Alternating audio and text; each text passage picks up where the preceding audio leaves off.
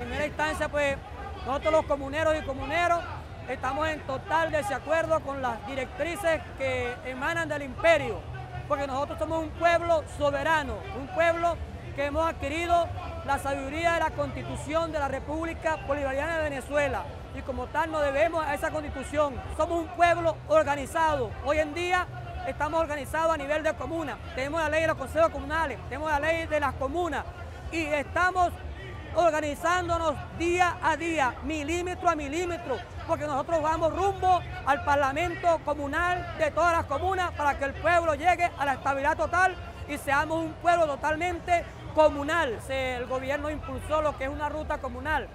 Hay varias empresas de, de producción social que sí, en realidad hace falta el fortalecimiento, pero ahí estamos.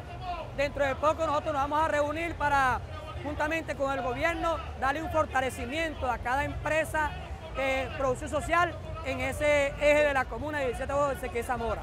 Pues la idea es combatir lo que es la guerra económica con las empresas de producción social que están y las que vienen, porque ahora es cuando que nosotros los comuneros vamos a, apropiarnos del poder, porque todo el poder para el pueblo, como dijo el presidente Nicolás Maduro y como dijo el comandante Hugo Rafael Chávez Fría, con la idea de consolidar, de enseñar a las comunidades que nuestra meta actual es producir y producir en cualquier terreno que nos encontremos para poder combatir y ayudar a nuestros sectores en la comuna.